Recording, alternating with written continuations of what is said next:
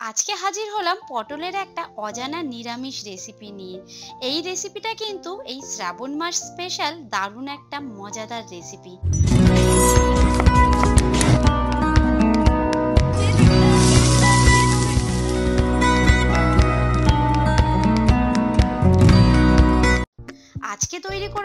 আমি পটলের একটা অজানা রেসিপি পটলের তো অনেক রকম রেসিপি তৈরি করে খেয়েছেন। একবার আসুন তো সবাই মিলে এই ধরনের রেসিপিটা তৈরি করি, যেটা কিন্তু সম্পূর্ণ নিরামিষ। আর বিশেষ করে আমি এই শ্রাবণ মাসে কিন্তু আমাদের প্রচুর নিরামিষ খেতে হয়, কারণ প্রত্যেক সোমবার করে কিন্তু আমরা শ্রাবণ মাসে নিরামিষ খাই। বাবার জন্য।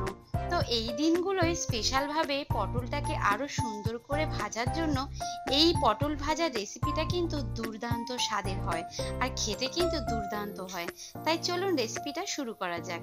প্রথমেই আমি কিছু ফ্রেশ পটল নিয়ে নিয়েছি আর অবশ্যই কিন্তু পটলগুলো খুব একটা পাকা নেবেন না, একটু কচি ধরনের পটল নেবেন। পটলগুলো কিন্তু আমি খুব আলতোভাবে পটলের গায়ের আঁশগুলো ছাড়িয়ে নিলাম। আমি কিন্তু পটলের খোলাটা ছাড়াইনি। এইবার একটা চামচের সাহায্যে আমি পটলের দানাগুলো বার করে নিলাম। এইবার এই দানাগুলো কিন্তু একদমই ফেলা চলবে না, কারণ এই দানাগুলো দিয়েই কিন্তু আসল রেসিপিটা তৈরি হবে। এবার চলুন দেখা যাক কীভাবে আমি তৈরি করি। আমি এই প্রথমে পটলের দানাগুলো একটু হাত দিয়ে ম্যাশ করে নিয়েছি। এইবার এর মধ্যে আমি দিয়ে দেবো চার চা চামচ বেসন। এখানে আপনারা চাইলে বেসনের পরিবর্তে কর্নফ্লাওয়ার ইউজ করতে পারেন, অথবা কর্নফ্লাওয়ার না থাকলেও ময়দা ইউজ করতে পারেন। এখানে আমি বেসনটা ইউজ করলাম। আর দিয়ে দেবো একটু স্বাদের জন্য এক চা চামচ গুড়। এখানে আপনারা চাইলে গুড়ের পরিবর্তে চিনিটা ব্যবহার করতে পারেন, কিন্তু চিনিটা খাওয়ার জন্য স্বাস্থ্যের পক্ষে একটা ভালো না, সেই কারণে আমি গুড়টা ইউজ করলাম। আর দিয়ে দিলাম পরিমাণ অনুসারে লবণ। আর দিয়ে দিচ্ছি একটা গোটা সাইজের আলু আমি, সেদ্ধ আলু ম্যাশ করে নিয়েছি সেই আলুটা। আর দিয়ে দিচ্ছি এক চা চামচ সর্ষের তেল। খুব সামান্য কিছু উপকরণ দিয়েই কিন্তু তৈরি করে নিলাম, যেগুলো ঘরে আমাদের সবসময় থাকে।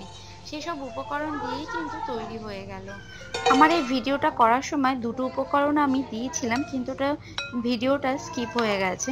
আমি এর মধ্যে কিছুটা টমেটো কুচি দিয়েছিলাম, আর দিয়েছিলাম কিছুটা জোয়ান এই দুটো উপকরণ দেওয়ার জন্য কিন্তু এই পুরের স্বাদটা আরও বেশি আসে। যেহেতু নিরামিষ রান্না হচ্ছে, তো নিরামিষের দিনে একটু জোয়ান দিলে কিন্তু মুখে জোয়ান পড়লে বেশ ভালো লাগে খেতে। তাই এই দুটো উপকরণ কিন্তু আমি এখানে ভিডিওতে দেখাতে পারিনি, কিন্তু আপনারা কিন্তু এই রেসিপিটা তৈরি করার সময় অবশ্যই কিন্তু জোয়ান আর টমেটো কুচিটা দিয়ে দেবেন। যতটা ভালো করে মাখানো যাবে, ততটা কিন্তু পটলের পুরে স্বাদ বেশি হবে। তো আমার মাখানোটা একদম রেডি হয়ে গেছে। তো চলুন এইবার আমি পরের স্টেপে যাই। এইবার প্রত্যেকটা পটলের ভেতরে আমি পুরগুলোকে আস্তে আস্তে ভরে দেব আর চামচের পেছনটা দিয়ে চেপে চেপে দেব।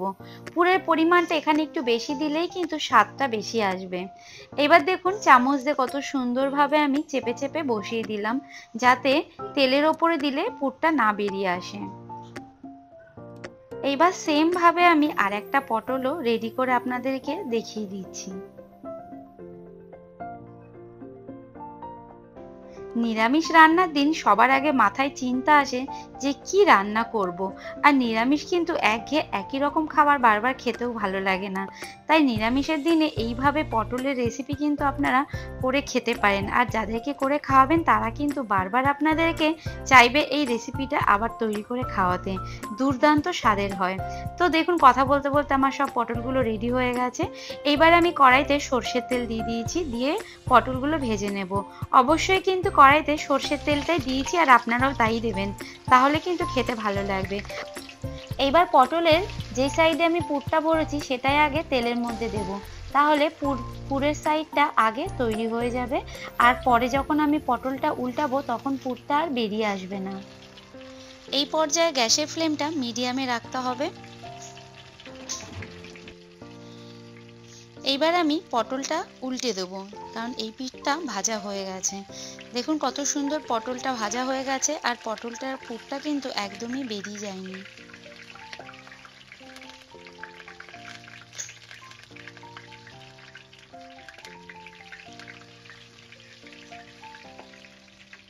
এইবার আমি গ্যাসের ফ্লেমটা লো করে আস্তে আস্তে পটলের এই পিঠটা ভেজে নেব।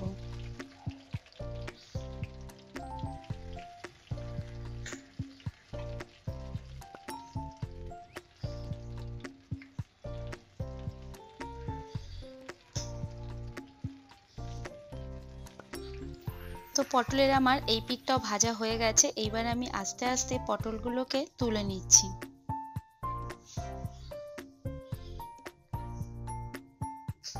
পটল ভাজাগুলো হয়ে গেছে, এইবার পরিবেশন করা পালা দেখুন, দেখতে কতটা সুন্দর হয়েছে আর খেতে কিন্তু দুর্দান্ত হয়েছিল।